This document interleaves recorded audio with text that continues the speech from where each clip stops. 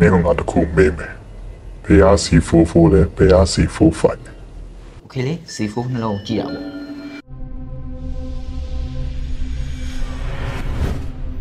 ဖြစ်စဉ်ကတော့ဒီလိုဗျာ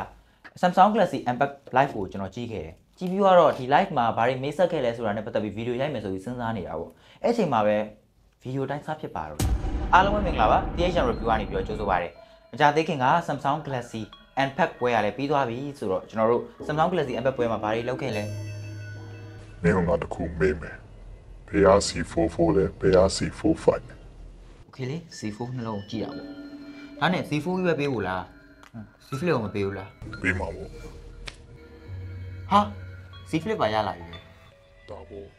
Okay လေအဲ့ဒါဆိုနှလုံးလုံးယူမယ်တော့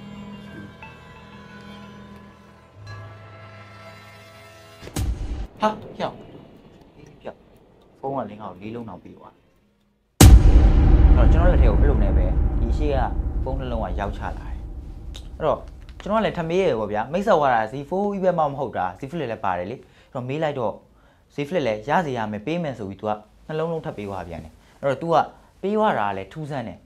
Z Flip 4 Z Flip 5ရောဆိုပြီးတော့ဗောနော်အရင်ကမိတ်ဆက်ခဲ့တဲ့ဖုန်းမှာပြန်ပေးသွားတာအဲ့တော့ကျွန်တော်လည်း recap မလုပ်တော့ဘဲနဲ့ အခုလိုမျိုး first impression video လုပ်ဖြစ်သွားတာဗောရုပ်တရက်တော့ကျွန်တော်လည်းလမ်းမိသားဗျဘယ်မှမသိရဟာကြီးကပေါ်လာပြီးကျွန်တော်လာပေးတာလေဗျအဲ့တော့အားလုံးပဲမင်္ဂလာပါ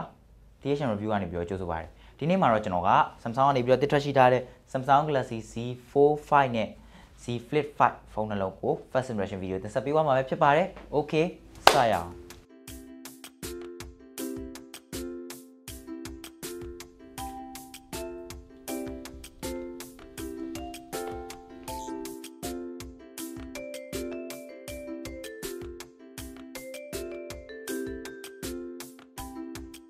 အမျိုးမျိုးပြောတယ်ဒါပေမဲ့ကြီးလိုက်တဲ့ခါမှာကျတော့အဲဒီဇိုင်းပိုင်းကတော့တိတ်မကွာနေတဲ့ဘက်ကိုသွားတယ်ပေါ့နော်အဲ့ခါကျတော့ကျွန်တော်လည်းစဉ်းစားတယ်ဖုန်းတွေကဒီဇိုင်းပိုင်းလည်းတိတ်မကွာဘူးอืมဒီတိုင်းပဲထွက်လာလားဆိုပြီးတော့ဒါပေမဲ့ကျွန်တော်ကိုအဲ့ဘယ်ကမှမသိဘာမှမသိတဲ့ဘဲကြီးတဝေက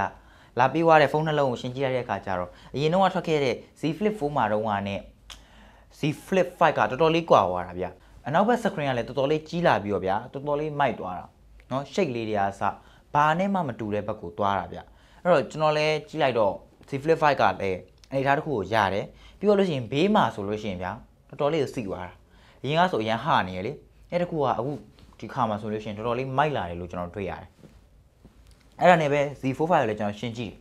အဲ့ဘဲကြီးကိုလည်းကျေးဇူးတင်ရမယ်ဘာလို့လဲဆိုတော့အဲ့ဘဲကြီးက Z44 ရော Z45 ရောပေးသွားတာ哦အဲ့တော့ Z45 ကိုကျွန်တော်ကြည့်ရတဲ့ခါမှာလည်း Z45 ကဟနေတာမျိုးလေးတိတ်မတွေ့ရတော့ဘူးလက်ထဲမှာကန်ရတာ10 gram လောက်ပေါ့သွားတယ်လို့ Samsung ကပြောခဲ့တယ်လို့ပဲတကယ်လဲတိတာတယ်ဗျ ဖုန်းကဗျာ10 gram လောက်လျော်ဝါးချောင်းလဲတော်တော်လေးတိတာတာကိုတွေ့ရတယ်ဟောလက်ထဲမှာကန်ရတာတော်တော်လေးမိုက်တယ်အဲ့တော့အရင်ဆုံးပြောချင်တာကဒီဖုန်းနှလုံးလုံးကိုတော့ကျွန်တော်ဟိုဒီတေးတော့မဆန်းရသေးဘူး first impression ဖြစ်တဲ့အတွက်ကြောင့်ပေါ့နော်ဒီဖုန်းနှလုံးလုံးကိုကြည့်လိုက်တဲ့အခါမှာကျွန်တော်သိရတာဒီဖုန်းနှလုံးလုံးက Snapdragon 8 Gen 2 4 Galaxy ဆိုတဲ့ချစ်ဆက်ဒါ S23 series တုန်းကလည်းသုံးခဲ့ပါတယ်အဲ့တော့အဲ့ချစ်ဆက်ကိုဖုန်းနှလုံးလုံးကသုံးထားတာဗျာအဲ့တော့အဲ့ချစ်ဆက်ကတော့ performance ပိုင်းတွေကမဆိုးဘူးအဲ့တော့ ကင်မရာပိုင်းတွေဘာတွေမှာရရှိတဲ့အခါမှာတိုးတက်လာတယ်ဒါပေမဲ့ specification အဖြစ်ကမနစ်ကထွက်ခဲ့တဲ့ပေါ့နော်အဲ Z Flip 4 C44 နဲ့ရှိမယ်ဆို specification hardware ပိုင်းဆိုင်ရာရဘာမှထူးခြားသွားတာမတွေ့ရအောင်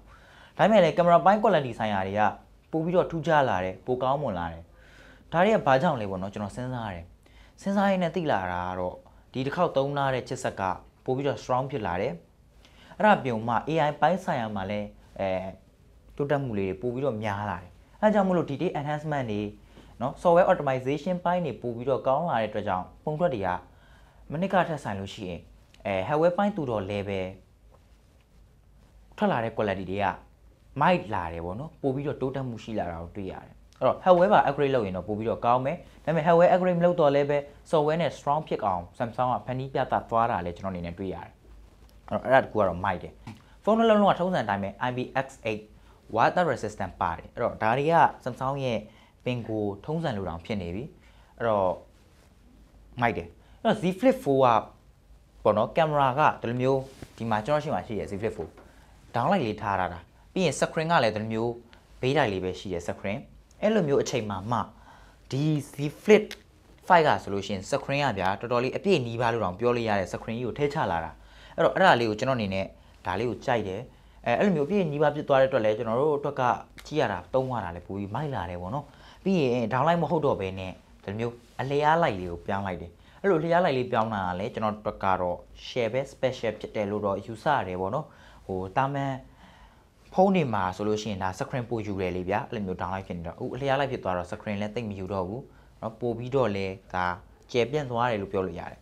ဖုန်းကပို့ပြီးတော့လဲဟနေတာမရှိတော့အလဲမကန်ရဘူးပါသွားတယ် နောက်ပြီးတော့ Samsung ရဲ့ထုံးစံအတိုင်းပဲပေါ့နော်သူတို့အများအားပြောတယ်အဲ့ဒါဘာလဲဆိုတော့သူတို့ဖုန်းကိုဒီဂရီမျိုးစုံမှာထားလို့ရတယ်ဆိုပြီးတော့ပေါ့နော် other brand တွေလည်းဟို foldable phone တွေထုတ်တာပဲဒါပေမဲ့ဗျာဟိုဒီနားလောက်ထိတောင်မှထားလို့မရတဲ့ထားမျိုးတန်လိုက်တွေကဖတ်ဖတ်ဖတ်ဆိုပြီးတန်လိုက်နဲ့ကတ်သွားတာဟိုတစ်ခေါက်မှာအတန်ကလည်းညင်ညင်ညင်ညောင်လေးမိုက်ပိတ်လိုက်လို့ရှိရင် AC ပဲကျွန်တော်တို့မှာမိုင်နားမှာလောက်ပြမယ်လုံးဝညင်ညင်ညင်ညောင်ပဲ C4 ကတော့နည်းနည်းပိုကျတာပေါ့နော်ပိုလဲကြီးတာပေါ့ တော့ C4 မှာဆိုလဲအတန်ကြီးညင်ညင်ညင်ညောင်ပဲပိတ်တာအစအဲ့တော့ other brand တွေနဲ့ရှင်းမယ်ဆိုရင်တော့ဒါကတော်တော်လေးမိုက်စေတဲ့မိုက်တဲ့အချက်တစ်ချက်လို့တော့ကျွန်တော်အနေနဲ့မြင်မိတယ်အဲ့တော့ C4 5မှာဆိုလို့ရှိရင် multitasking ပိုင်းဆိုင်ရာမှာဆိုလို့ရှိရင်လည်းအရင်ကတက်ဆိုင်ပို့ပြီးတော့ဒါ strong ဖြစ်လာတယ်ပေါ့နော်အဲ့တော့မဆိုးပါဘူးဒါကတူတိုးတက်မှုတွေရှိတယ်လို့ Samsung ကိုပြောလို့ရတယ် Samsung ကိုလည်းချီးကျူးလို့ရပါတယ် အဲ့ဒါအပြင် Samsung ကလည်းဒါ accessory နဲ့ပတ်သက်လို့ရှိရင်လည်းပို့ပြီးတော့ဒီနှစ်မှာလိုရမယ်လို့လည်းပြောရတယ်ပေါ့နော်အဲ့တော့အဲ့ဒါကြီးကတော့စောင့်ကြည့်ရအဲ့တော့ Z Flip 5ကတော့အယောင်၄မျိုးလာမယ်ပေါ့နော်အဲ့ဒါ crane ရယ် mint ရယ် graphite ဆိုတဲ့ကျွန်တော်လက်ထဲမှာရှိနေတဲ့အယောင်လေးရယ်ပြီးွားရင် lavender အယောင်လေးရယ်ဆိုပြီးတော့၄မျိုးလာမယ်အဲ့တော့အဲ့အယောင်၄မျိုးလုံးကလည်းအခုပြထားသလိုပဲအရန်လေးမိုက်ကြတယ် အဲ့တော့ကာလာတွေကတော့သူ့အနေနဲ့သူ style မိုက်တယ်ဗောနော်ဟို screen ကအပေါ်တစ်ပိုင်းမှာပေးလိုက်ရတဲ့အတွက်ကြောင့်မလို့အောက်တစ်ပိုင်းမှာပဲကာလာလေးရောဆက်ထားမှာဗောနော်အဲ့လိုမျိုးလေးတော့ရှိတယ် C4 ဘိုက်မှာဆိုလို့ရှိရင်လည်းဗျာကျွန်တော်လက်မှာရှိနေတာတော့ Phantom Black ဆိုတဲ့ကာလာလေးဖြစ်တယ်အဲ့ဒါပြောမှာ IC Blue ဆိုတဲ့အပြာရောင်လေးရယ်ပြီးရင် Crin ဆိုတဲ့အဖြူရောင်လေးရယ်၃ရောင်လာအောင်မယ်လို့သိရတယ်အဲ့တော့ဒီနှစ်ထွက်တဲ့ထဲမှာဗောနော်ပိုထူးခြားချက်တစ်ခုရှိတယ်အဲ့ဒါဘာလဲဆိုတော့ S Pen အရင်တော့ကကျွန်တော်တို့က Z45 မှာ Z44 မှာဆိုလို့ရှိရင် S Pen က cover နဲ့တက်တုံးရတဲ့ခါမှာပေါ်မှာဖောင်းထွက်နေတဲ့အတွက်ဗောနော်ဟို အားလုံးသိကြမယ်ထင်တယ်ဗောနော်အဲနောက်မှာခြာတိုင်းတပြင်းညီလည်းမဖြစ်ဘူးဆိုလိုလေးဆန်းဆောင်လေးဖြစ်နေတယ်အဲ့ဒါ S Pen နေရာယူရလို့ဥတခါ S Pen ကပို့ပြီးတော့သေးသွားတယ်ပို့ပြီးချစ်လေးလေးလေးဖြစ်လာတယ်ပြေဆိုလဲခံလာတယ်အဲ့ခါကျတော့ S Pen အတွက်လည်းနေရာကတိတ်ပြီးတော့မယူတော့ဘူးအထဲချက်ချိုင်လေးဝင်ထားတယ်ခလုတ်လေးနဲ့ဗောနော်ပျောက်မာတွေပါလေစိတ်ပူစရာမလိုတော့ဘူးဗောနော်အဲ့လိုမျိုးအနေအထားမျိုးကိုရလာတယ်အဲ့တော့ Samsung ကလည်းဒါ user တွေရဲ့လိုအပ်ချက်တွေကိုအများနဲ့နားထောင်ပြီးတော့ဖြည့်ဆည်းနိုင်အောင်စူးစမ်းပေးတယ်ဆိုတဲ့အချက်တစ်ချက်လို့ပဲဒါကတော့ဟိုတနည်းအားဖြင့်ယူဆလို့ရတယ်ဗောနော် တကယ်လဲဒါတွေကလက်တွေ့စည်းခွက်ထဲမှာလည်းလိုအပ်နေတဲ့အချက်တစ်ချက်ပေါ့အဲ့လိုလေးရောရှိအဲ့တော့ပြောရမယ်ဆိုလို့ရှိရင်ကျွန်တော်အခုဗီဒီယိုရိုက်တဲ့အချိန်မှာတော့မြန်မာနိုင်ငံရဲ့ဈေးနှုန်းကိုတော့မသိရသေးဘူးလက်ရှိကန်ရတာဆိုလို့ရှိရင်အလဲမှာဟိုမသိတာတော့ဘူးဗျာအလဲမှာခောက်ရာကြီးထင်တာကြီးကတိတ်မသိတာတော့ဘူးရှိသောရှိသေးရှိမြဲပဲเนาะဒါကတော့ခေါက်ဖုန်းတစ်လုံးမှာတော့အခုချိန်ထိဒါနောက်ထပ်တနေ့နဲ့လောက်ထိလဲဖြစ်အောင်မယ်လို့ထင်တယ်ရှိတော့ရှိပဲပဲဒါပေမဲ့တိတ်မသိရအောင်တော့တဖြည်းဖြည်းစူးစမ်းလာကြတာတော့ချီကျူရမှာ hinge တွေကလည်းပို့ပြီးတော့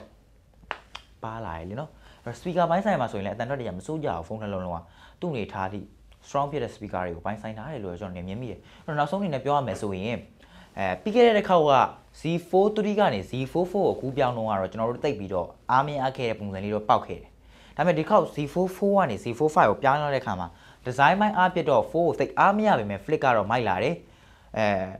design အားပြ special မဖြစ်ပေမဲ့လည်းပဲ အများကြီးတိုးတက်မှုလေးရှိလာတယ်။ကန်ရတဲ့ user တွေအတွက်လည်း user experience ဘိုင်းဆိုင်ရာရလဲပို့ပြီးတော့ကောင်းအောင်ပေးနိုင်အောင်ကြိုးစားလာတာကိုတွေ့ရတယ်လို့ပြောပြရင်းနေပဲနှုတ်ဆက်ချင်ပါဒီနေ့ဗီဒီယိုကတော့ဒီလောက်ပါပဲ